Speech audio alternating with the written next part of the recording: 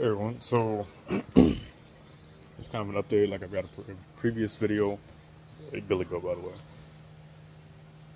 Got a previous video a couple years or so ago, and it's my Mustang uh, idling when I first got the cherry bomb put on there.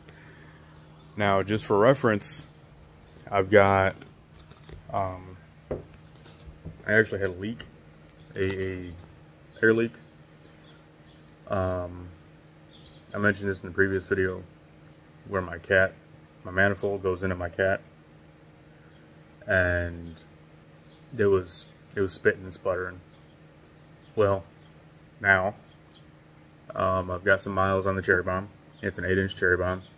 Uh, my system is basically straight piped.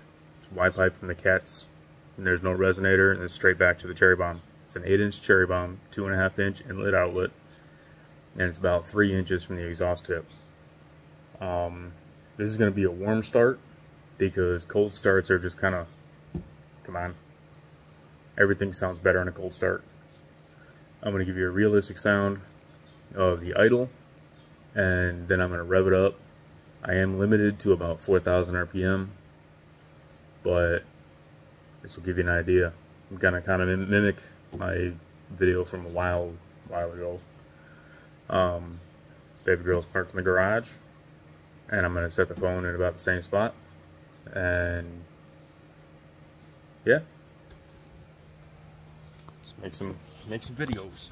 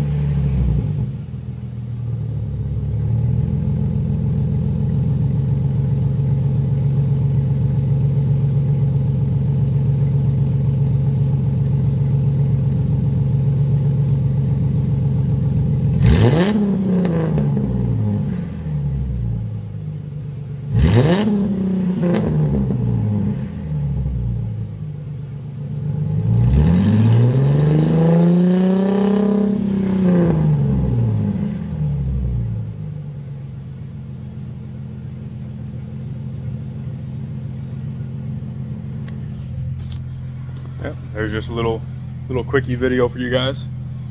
Um, hope you enjoy it. Go glass packs.